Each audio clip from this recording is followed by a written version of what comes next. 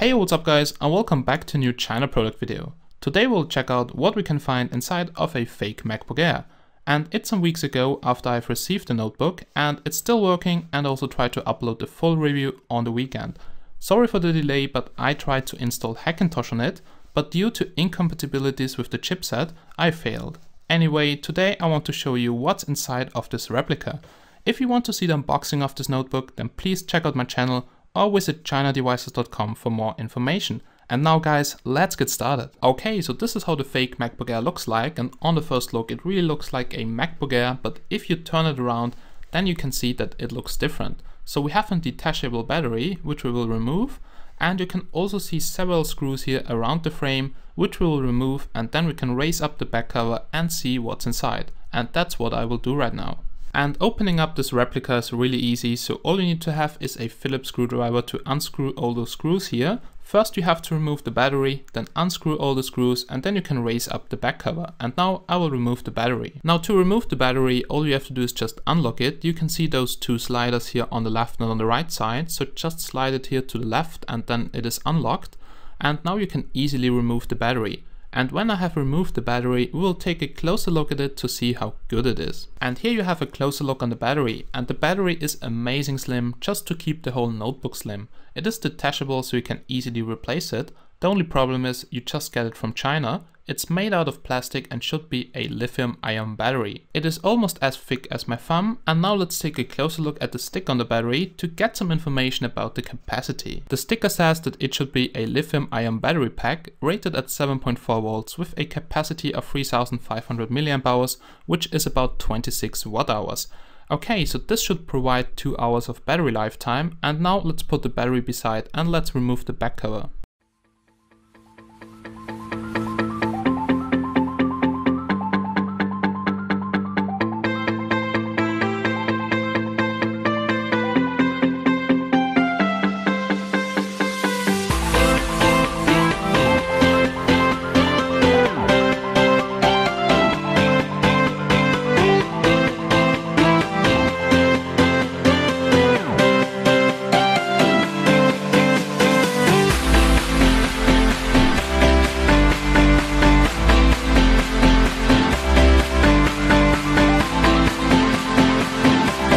Okay, so now we have removed the back cover and here you can see the internals of the fake MacBook Air. So everything is pretty small, you can just see that the battery was placed here on this black plastic.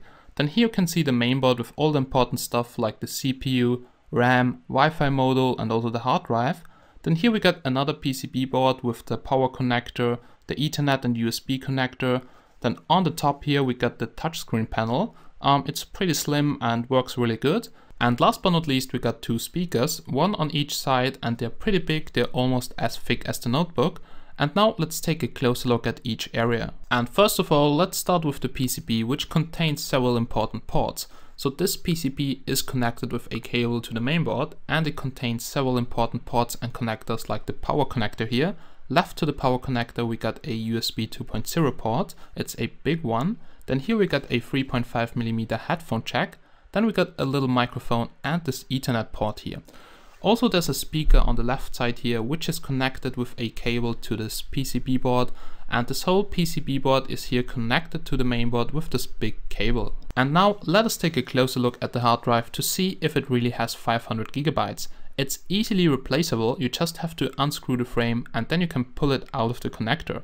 And it's a 2.5 inch SATA hard drive and let's see if it really has 500 gigabytes. And yes, it's a Western Digital Scorpio Blue with 500 gigabytes of capacity. And actually the quality of those Western Digital hard drives is pretty good and they're not that cheap, so they retail for about 80 to 90 dollars here in Austria. And here you have a closer look on the mainboard. So here we got this little cooling system which consists out of the fan, a heat pipe and this heatsink here. So right under the heatsink here on the right side there's the CPU and the copper heat pipe conducts the heat here to another heatsink and the fan blows out the hot air on the backside of the notebook. And the CPU is a D2500 dual core CPU with integrated graphics, so it's not good for gaming, only some older 3D games, but it's great for portable use. Then here we got a RAM slot, only one RAM slot with one module, and let's take it out and let's see how many gigabytes it has. And it is a single DDR3 module with 4GB and it's maybe upgradable to 8GB, but I'm not sure if it's supported by the mainboard and by the BIOS. Then now let's put it back into the slot and let's take a look at the next area. Then here you have a closer look at the next area which is right over the system fan. Here you can see the mainboard battery, it's point welded with this metal arm here, so it's a little bit harder to replace but it still should be no problem. We also can see a connector here which says 3G con, so maybe this is a connector for a 3G modem, but this is not included. And I'm also not sure where you can order a 3G modem which is connected with a flex cable. Then here we got the battery connector for the battery. And last but not least, we got here the hard drive connector. So it's a SATA connector and you can replace the hard drive with any 2.5 inch SATA hard drive. And we are now here on the opposite side of the frame and here we got a big USB 2.0 connector, a micro HDMI port and a card reader which is on the back side of the mainboard. Also here in the middle we got the Wi-Fi module which is in this connector and you can also see the antenna cable which goes from the Wi-Fi module somewhere to the frame. And the Wi-Fi module is replaceable, too bad that there's not a second connector to add a 3G modem, but therefore you get the port with the flex cable to add a 3G modem with a flex cable. Not sure where to get one, but yeah. And last but not least, we got here a connector for the speaker, and the speaker seems to be very strong. It's actually pretty big and makes a good sound.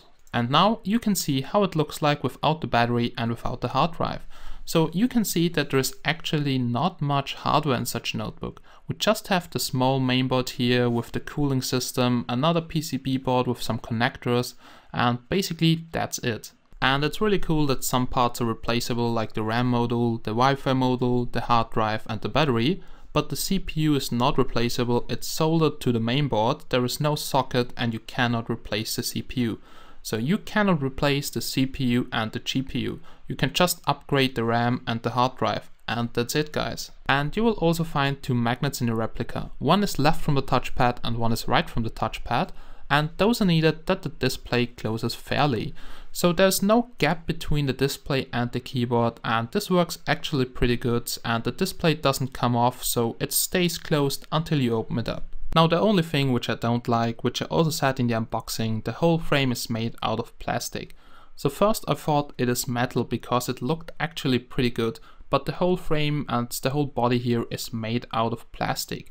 It's actually pretty good plastic, so you cannot break it easily, as you can see right over here. I can bend it in both directions and it does not break, but it looks kinda cheap. And now some last words about the manufacture quality. So the only thing I want to criticize is the display frame. You can see that it is wobbly and you can also see that there is a gap between the frame and the display. And actually it's a pretty huge gap, so it's about 3 to 5 millimeters, and that's definitely too much. And I don't want to bend it because otherwise I will maybe crack the display, but if I got some time I will maybe open up the frame, and then I'll try to band it or put some glue between that. Okay ladies and gentlemen, we're now at the end of this video and now some final words. So the build quality is average, pretty okay for the price but could be better. I would rate it with 6 out of 10 points. The hardware is not bad for about 250 USD, it's not a gaming machine and definitely doesn't come close to the real one, but it's good for portable use like for me on the university. I would rate it with 6, uh, no, let's give it 8 out of 10 points. Okay, that's it, the review is coming soon, don't forget to visit chinadevices.com and as always guys, thanks for watching and I hope I see you again in my next videos, bye bye!